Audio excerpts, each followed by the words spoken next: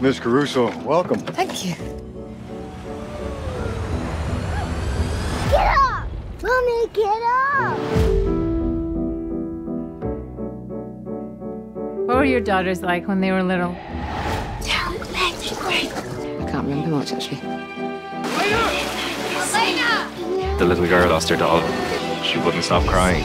Children are a crushing responsibility. Happy birthday. She's very Mama, I'm working. I'm suffocating.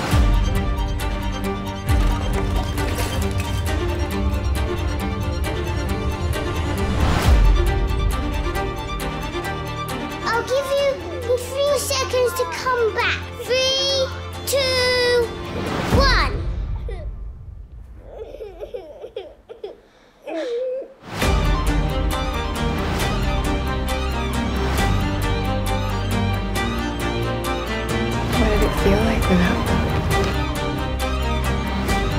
Felt amazing.